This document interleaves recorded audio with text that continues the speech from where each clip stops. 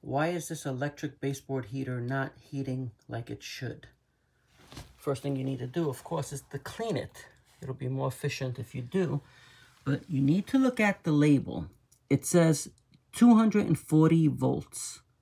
So this is a 240 volt baseboard heater, electric baseboard heater. Now you need to check the voltage that's coming in. Now you see the wire from the back. It's two wires coming in plus the, the ground. If this was a 240 volt system circuit, each of those wires should be 120 apiece.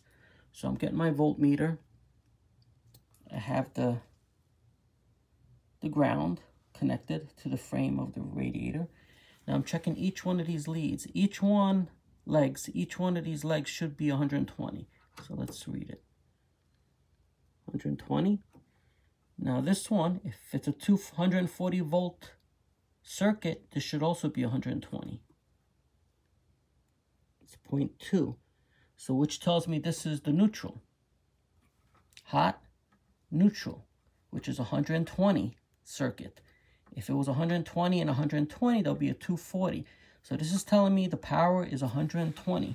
You can also check it by putting the leads on both wires.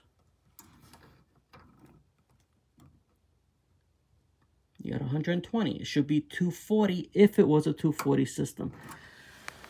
So another way to check it, you got to look at your breakers. The breakers should be a two-pole breaker supplying two individual 120 volt lines. I checked it, it's only a 20 amp single pole breaker, which verifies that I only have 120 volts coming to this radiator, but it's rated for 240. So the way to solve this problem, you need to replace this radiator with 120 volt electric baseboard heater. Another thing you need to check is make sure that your thermostats are also rated for the 120 instead of the 240.